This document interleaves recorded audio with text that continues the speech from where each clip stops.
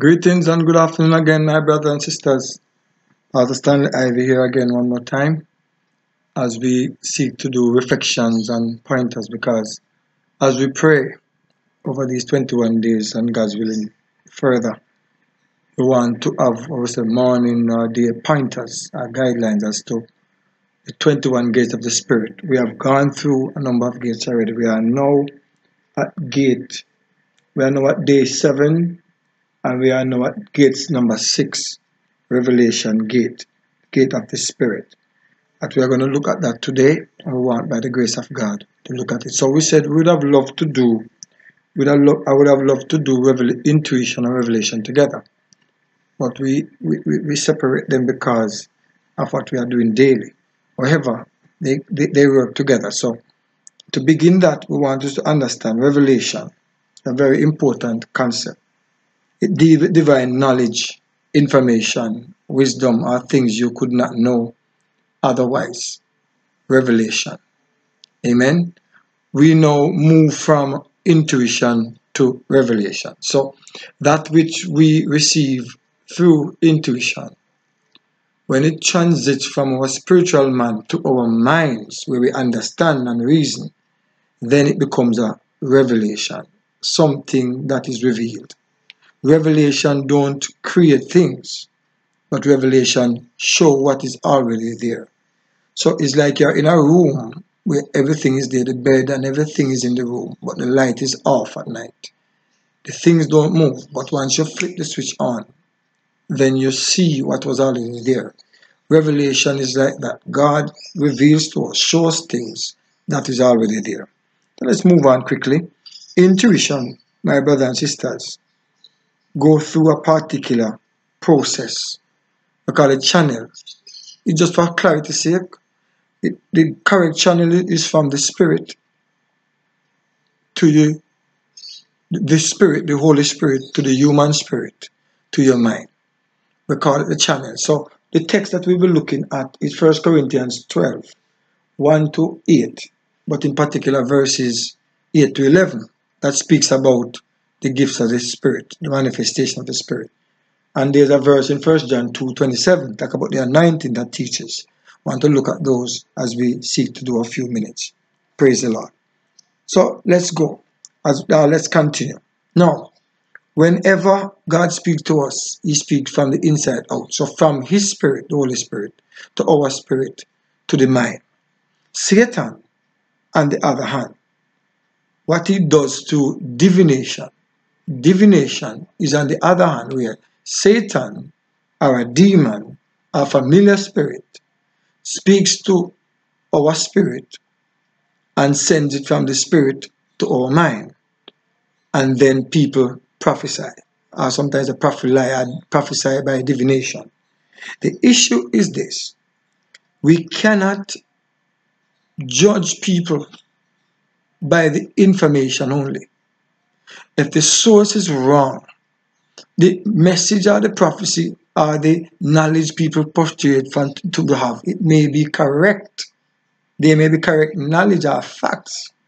But if the source or channel through which they came is not from the Spirit of God, it is through divination, aka familiar spirit, aka sorcery. We don't want those within the church of God. Amen. We want people who speak, and whenever we do speak, we speak from the Spirit of God. So we cannot allow every thought to come to, that comes to our mind to run with it and say the Spirit.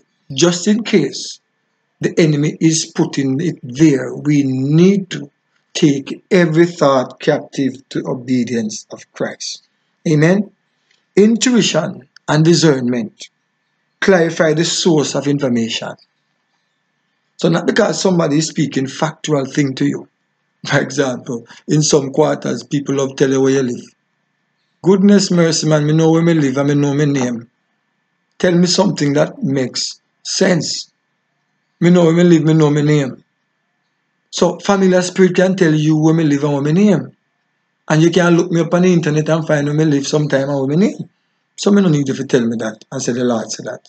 Tell me something else that will tell me, say, yes, this is of the Spirit of God, because revelation is knowledge that you could not know on normal basis.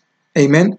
So we can't judge or should not judge or call people woman of God or man of God because they spoke something factual to you about your present or factual to you about your past. Divination, familiar spirit, demonic spirit can give them that information. So we need to have other measures by which we judge, and we call it discernment of spirit, intuition from God. The person may be speaking things that sound correct and may be factual, but there's a there's a there's a there's something in your spirit that is saying something ain't right, and that is a part of the intuitive knowledge that God gives that the church cannot and should not be deceived. In Jesus' name. Amen. Glory to God. Everything in your life moves at the speed of revelation. Everything in the kingdom grows at the speed of revelation. That is why people who just get saved, if they can grasp, if they can walk in the knowledge and the revelation from the Spirit of God, they pass people who sit down there for 20, 30 years because years in the church by itself don't give you maturity. Years in, your, in the church by itself don't give you authority. It is how you receive that word, process that word, and live out that word. Revelation is what changed the nation. Amen. And revelation is what brings God's people into a life that is meaningful and rich. Let's move on to some other points. So we say if you are going to grow and progress and mature as a believer, it must be by revelation. We must grow and develop by revelation. We must be able to, one, know the written revelation of God. And then God can speak to us further and the written revelation because the Bible says God didn't write everything that we will love to know in the Word of God. Didn't say that, but He said the Holy Spirit shall guide you into all truth. So there are times when you can find a verse in particular specifically to the issue. For example, you want to go to town or you want to go to a particular place. You can't necessarily find that in the scripture. Thou shall or thou shalt not go.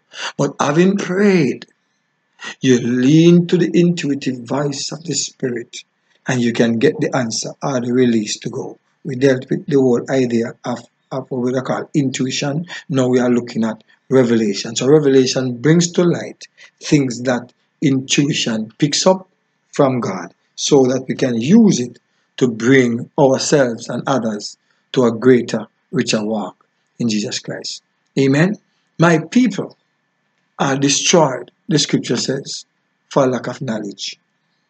For lack of knowledge.